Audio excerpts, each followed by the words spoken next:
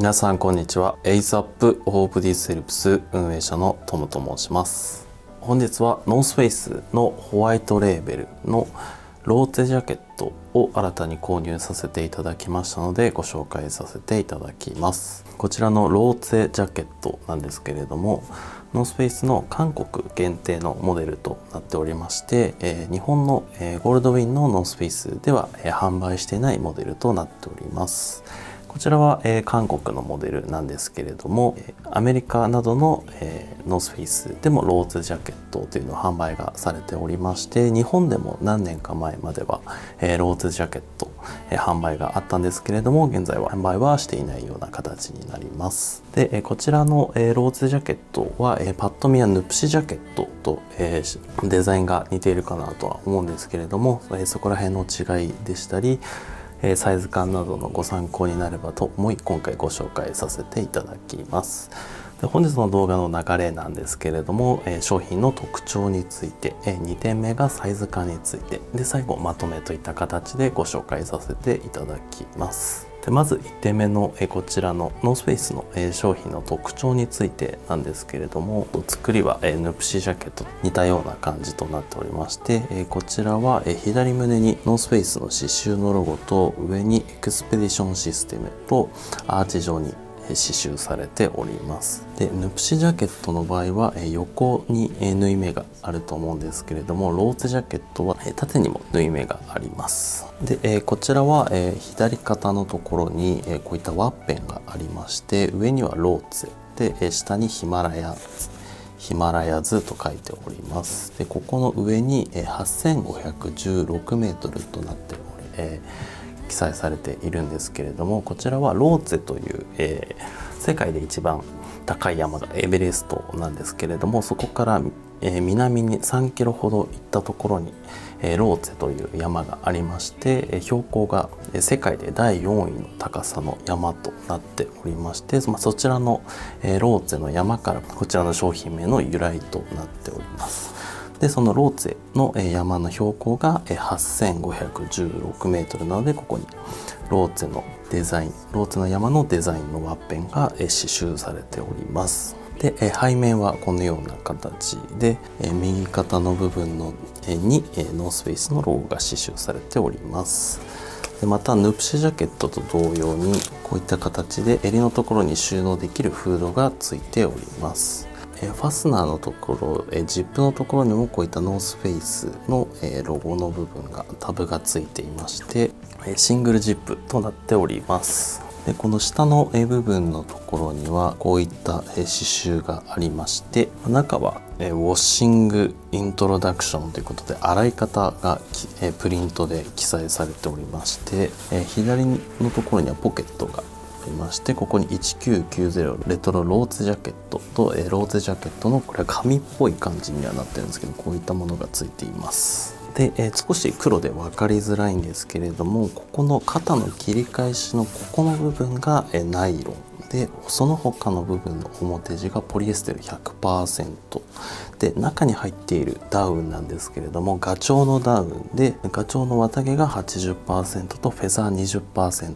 という割合になっています。こちらはまヌプシジャケットと同じ割合になっています。で正面のポケットは2つありまして先ほど見ていただいた中が中のところにポケットが1つの計3つとなっております。でえこういったえ袋が付属してきますのでえこの中に収納することができるので非常にえコンパクト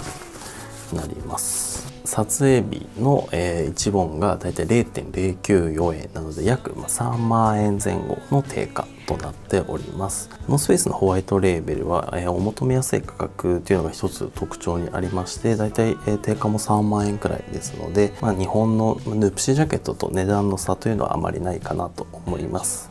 でこちらのカラーが、えー、今回ご紹介させていただいているブラックとあと青と、えー、黒と、えー、シュプリームとノースペースのコラボであったような雪山のデザインの、えー、ホワイトとブラックみたいなカラーがあるんですけれども本当はそれが欲しかったんですけれども結構人気で買えるところがなかったので今回はブラックを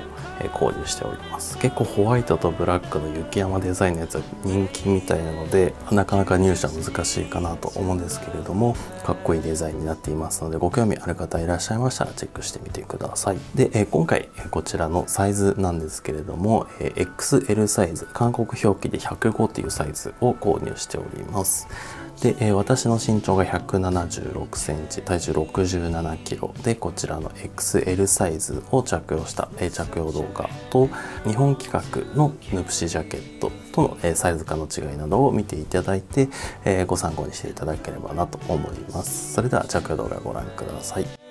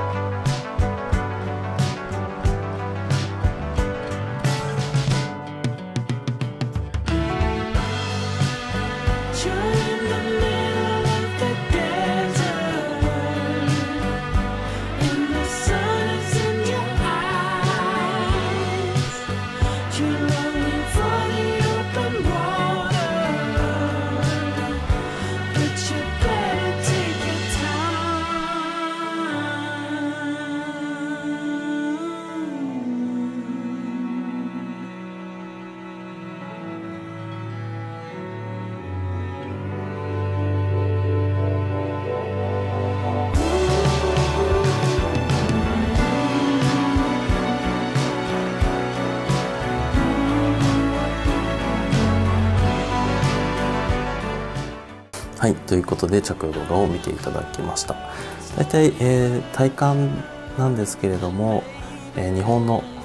ヌプシジャケットと大体似たサイズ感かなと思います。インナーにパーカーを着ても、えー、十分ゆとりはありますので結構インナーに厚手のものとかを、え、着たい場合は1サイズか2サイズアップでもいいかなと個人的には思います。で最後まとめなんですけれども、え、こちらを見た時に、え本当は先ほどお伝えさせていただいたように雪山のプリントのものが欲しかったんですけれども購入できなかったので、えこちらの黒を、え購入しました。結構ノースフェイスホワイトレーベルとかこういったワッペンのデザインがえ多くて、え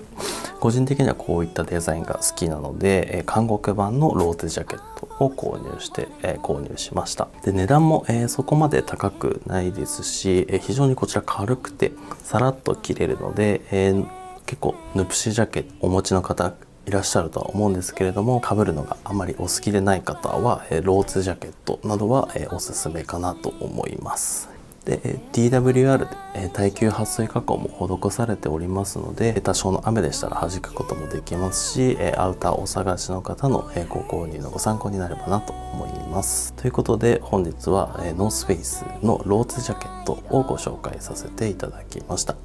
ご視聴いただきありがとうございました。